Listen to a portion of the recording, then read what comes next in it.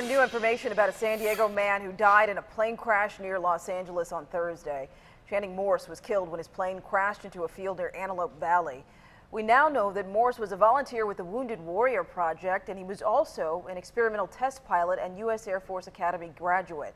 Morse is survived by his wife, a daughter, and a grandchild.